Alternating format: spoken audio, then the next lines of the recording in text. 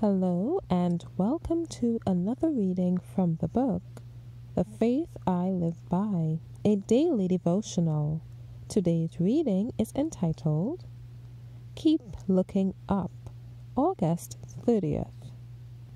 Looking unto Jesus, the author and finisher of our faith, who for the joy that was set before him endured the cross, despising the shame, and is set down at the right hand of the throne of God. Hebrews 12:2. Several years ago, while journeying from Christiania, Norway to Gothenburg, Sweden, I was favored with the sight of the most glorious sunset it was ever my privilege to behold. Language is inadequate to picture its beauty.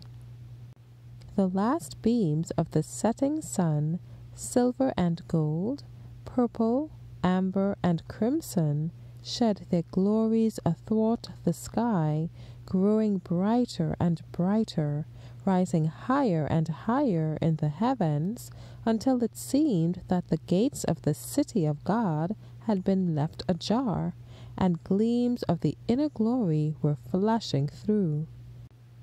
For two hours the wondrous splendor continued to light up the cold northern sky, a picture painted by the great master artist upon the shifting canvas of the heavens.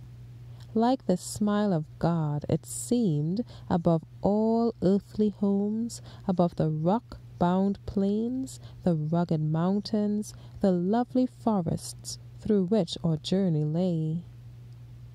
Angels of mercy seemed whispering, Look up. This glory is but a gleam of the light which flows from the throne of God. Live not for earth alone. Look up and behold by faith the mansions of the heavenly home.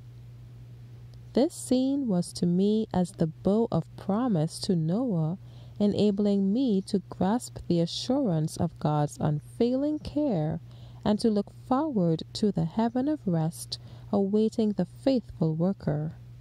As God's children, it is our privilege ever to look up, keeping the eye of faith fixed on Christ. As we constantly keep Him in view, the sunshine of His presence floods the chambers of the mind.